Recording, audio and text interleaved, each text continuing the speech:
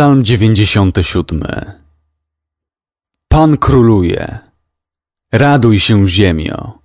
Cieszcie się rozliczne wybrzeża. Kłębią się wokół niego chmury i obłoki. Sprawiedliwością i prawem stoi jego tron. Sprzed jego oblicza rozprzestrzenia się ogień i zewsząd pochłania tych, którzy są mu przeciwni. Świat rozświetliły jego błyskawice. Na ten widok dreszcz przeniknął całą ziemię. Góry niczym wosk stopniały przed Panem i rozpłynęła się przed nim cała ziemia. Oto niebiosa głoszą Jego sprawiedliwość i wszystkie ludy widzą Jego chwałę. Niech się okryją wstydem słudzy martwych bóstw którzy chełpią się swoimi nicościami. Pokłoncie się Jemu, wy, wszystkie bożyszcza.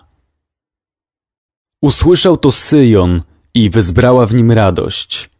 Córki judzkie poweselały z powodu rozstrzygnięć Twych, Panie. Gdyż Ty, Panie, jesteś najwyższy ponad całą ziemią. Twoja wielkość przyćmiewa znaczenie wszelkich bóstw. O wy, którzy kochacie Pana, przeciwstawiajcie się złu. Ten, który strzeże dusz oddanych mu ludzi, wyrwie ich z ręki bezbożnych. Światło wschodzi sprawiedliwemu. Radość gości u tych, których serca są prawe. Radujcie się w Panu, sprawiedliwi. Z wdzięcznością wspominajcie Jego święte imię.